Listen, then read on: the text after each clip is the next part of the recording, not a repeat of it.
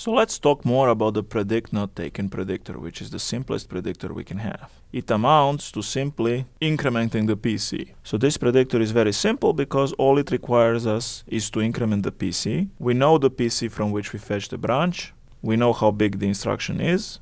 We can just increment the PC. So there is really no memory to this predictor or anything else. We have to do the increment of the PC anyway once we figure out it's not a branch.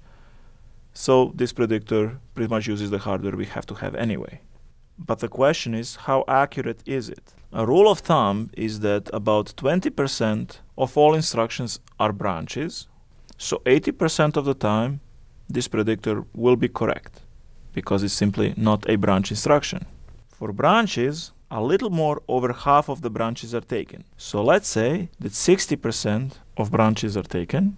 So what we get is that this predictor is correct 80% of the time for non-branches and also another 8% of all the instructions because of the 40% of branches that are not taken. It is incorrect 12% of the time. It is incorrect 60% of 20%, which amounts to 12%.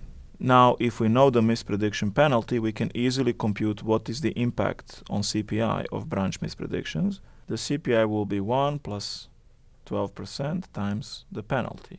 In a five-stage pipeline, this would be 2, so the CPI would be 1.24.